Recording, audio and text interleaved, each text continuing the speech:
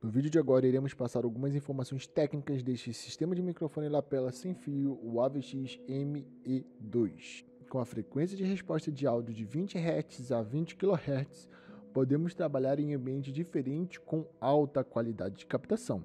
Também contamos com a relação de sinal-ruído maior que 90 dB e amplitude dinâmica maior que 120 dB. A qualidade de som do AVX ME2 é excelente por conta dos seus sample rates em 24 bits e 48 kHz. Sua faixa de frequência está localizada entre 1910 a 1920 MHz, livre de interferências por estar acima da faixa 4G da telefonia móvel celular.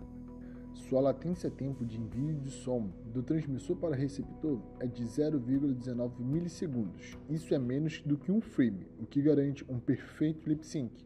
A bateria do receptor tem a duração com a carga completa de 4 horas e o transmissor de 15 horas com a sua bateria Li-ion de 3,7 volts. Para a carga completa do receptor, iremos precisar de cerca de 1 hora e 15 minutos, e para a carga completa do transmissor, 4 horas e meia. Os dois podem ser carregados em power bank para mais facilidade de manuseio. Esse produto também é homologado pela Anatel e tem a garantia nacional de 2 anos.